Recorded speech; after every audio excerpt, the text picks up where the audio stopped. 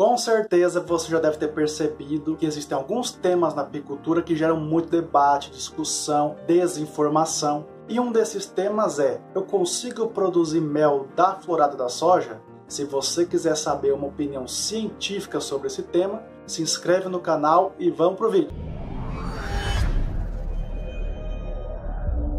Salve, salve a todos, sejam muito bem-vindos ao canal Apsologia, eu sou Pedro Santos e antes de mais nada eu quero agradecer a todos vocês que lá no vídeo passado contribuíram para o crescimento do canal, comentando, assistindo, dando like, compartilhando, porque batemos mil visualizações. Para um canal que não tem nem cinco meses de existência, isso é bastante significativo, então muito obrigado a vocês. Isso demonstra que de fato vocês estão gostando do conteúdo científico e podem ter certeza que eu vou retribuir isso da melhor maneira possível. Já estou planejando uma série de vídeos sobre alimentação para as abelhas, tanto a energética quanto a proteica. Então vão ter vídeos teóricos sobre alimentação, vídeos na prática fazendo a alimentação, né, a suplementação, tanto energética quanto proteica, e lá no apiário alimentando as abelhas.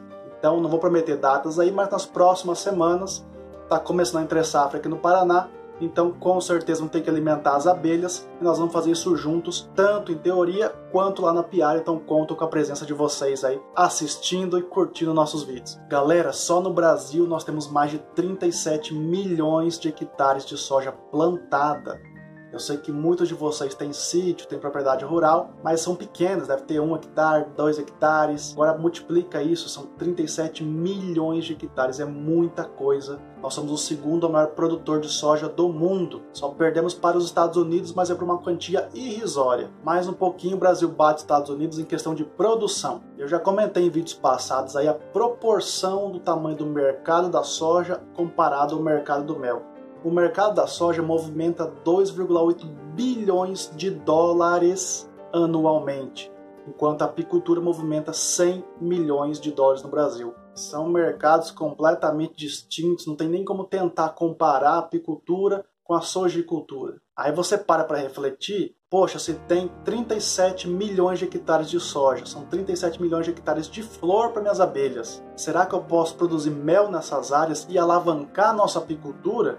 E a resposta é depende. Antes de responder de fato, deixa eu só situar vocês aí como que funciona a pós-graduação no Brasil. Então, quando eu lá na graduação, seja veterinário, zootecnia, biologia, agronomia, nós estudamos apicultura de uma maneira geral. Então você aprende a produzir mel, produzir própolis, produzir pólen, as doenças das abelhas, aprende o geralzão, mas nada com aprofundamento. Quando você opta por seguir uma carreira acadêmica e você continuar estudando e fazer uma pós-graduação na área, você vai pegar a apicultura, escolher um tema dentro dela e aprofundar seu conhecimento dentro daquele tema. Então, no meu mestrado, eu aprofundei o meu conhecimento na questão de produção e seleção de rainhas. Então, eu fiquei dois anos estudando com maior ênfase esse assunto. Isso não quer dizer que eu não estudo o resto da apicultura, mas a minha maior ênfase foi na produção de rainhas. E no doutorado isso também é semelhante, só que é mais aprofundado ainda. Você vai pegar um tema dentro de um tema. E no meu doutorado, algumas pessoas já devem ter fuçado por aí, que meu currículo está na internet, disponível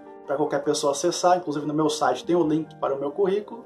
Dentro da polinização, a minha especialidade do Pedro Santos é polinização de soja. Então vejam como é afunilado o conhecimento de tantas plantas que existem eu sou especialista em polinização de soja. Então, de todos os vídeos do meu canal, que por enquanto é pequenininho, não tem nem 50 vídeos, esse vídeo sobre polinização de soja é o que eu tenho mais propriedade para falar, é o que eu tenho mais domínio. Afinal de contas, eu fiquei três anos, basicamente todos os dias do meu estudo dedicado à polinização da soja, estudar a relação das abelhas com a florada da soja. Então podem ficar tranquilo que esse vídeo aqui eu garanto para vocês a qualidade do conhecimento. Inclusive, o último trabalho científico publicado no Brasil sobre polinização de soja foi o meu trabalho de 2019. Eu não vou comentar muito sobre ele nesse vídeo porque eu vou dedicar um vídeo somente para ele, porque daí um outro assunto é polinização de soja e não produção de mel na florada da soja, que são coisas diferentes. Só por curiosidade, às vezes o pessoal fica pedindo para mostrar meus livros aí. Eu tenho vários livros sobre polinização de soja, soja e as abelhas. Então vou mostrar dois aqui, ó. que é de um autor brasileiro, é pesquisador da Embrapa Soja, que é a Embrapa que mais se dedica ao estudo da soja no Brasil, e é o pesquisador Décio Gazzoni, que quem comprou meu livro percebeu que quem fez o prefácio do meu livro foi o próprio Décio Gazzoni. Então é uma honra muito grande para a gente aí ter uma pessoa tão importante trabalhando em parceria com a gente. Para quem nunca ouviu falar no Décio Gazzoni, ele é o pesquisador mais respeitado na temática de soja aqui no país, considerado uma das 100 pessoas mais influentes do agronegócio brasileiro. Então, só por esse dado vocês têm noção aí do quão grande ele é na pesquisa. Então, foi um prazer muito grande eu ter a oportunidade de trabalhar com ele. Então, muito conhecimento que eu tenho com relação a soja e abelhas vem dessa parceria da minha universidade com a Embrapa Soja aqui do Paraná, que é onde o Décio Gazzoni trabalha. Mas a pergunta que todo mundo quer saber, afinal de contas, eu consigo produzir mel da florada da soja? E eu falei que depende porque só no Brasil nós temos mais de mil cultivares diferentes de soja e nem todas é possível você produzir mel.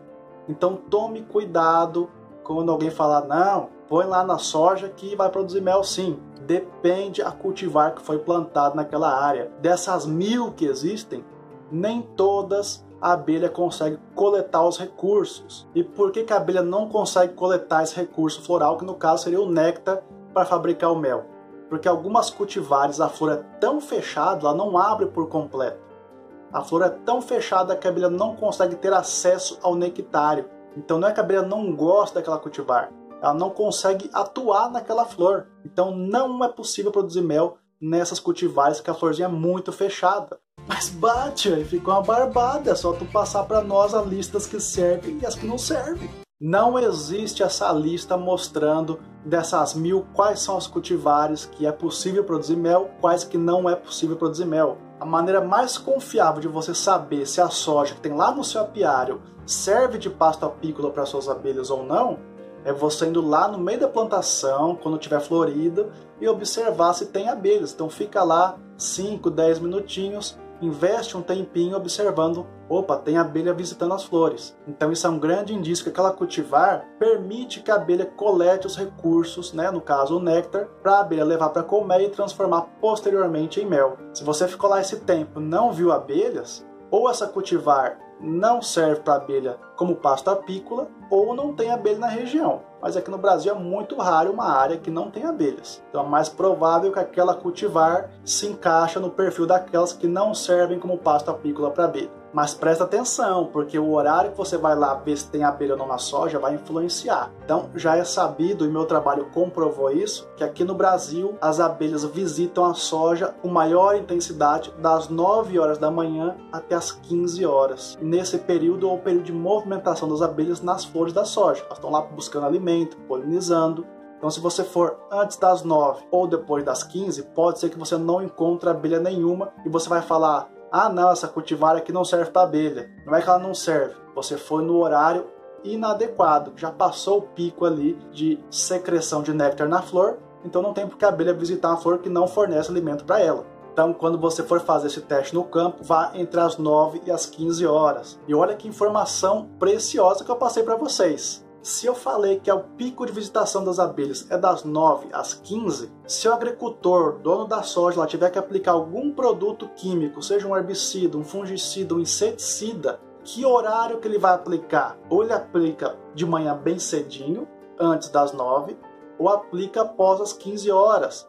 Dessa forma você consegue conciliar a agricultura com a apicultura sem um prejudicar o outro. Agora, se você põe suas abelhas lá no meio da soja do, do vizinho, não avisa que tem abelha, e ele resolve aplicar inseticida uma da tarde, corre o risco de matar muitas abelhas do seu apiário. Então tem que ter esse bom senso, essa conversa entre as partes para que os dois saiam ganhando. Então essa informação é muito importante. Das 9 às 15 horas é o pico de visitação das abelhas na soja. Então qualquer produto que tem que ser aplicado, aplicar ou antes desse horário ou depois.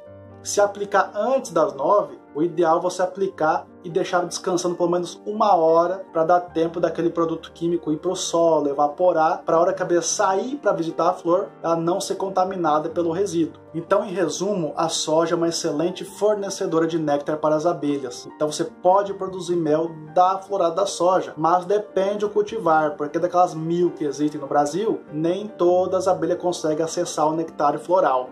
Então o que eu queria passar para vocês é que é possível produzir mel da soja sim, só que não é como algumas pessoas pregam por aí em palestras, em canal do YouTube e tudo mais, que qualquer soja vai dar mel. Não é qualquer soja que vai dar mel. São aquelas cultivares que a flor abre por completo, permitindo que a abelha acesse o nectário floral. Pelo vídeo de hoje era isso. Não se esqueça de se inscrever no canal e não se esqueça da nossa live quinta-feira das 20 às 21 horas, se não acontecer nenhum imprevisto aí, fica marcada a nossa live para a gente fazer ao vivo, passo a passo, calculando a quantidade de colmeias ideal para o seu apiário. Como fazer isso da forma mais simples, mais fácil, mais didática possível. Então até a próxima, tchau, tchau!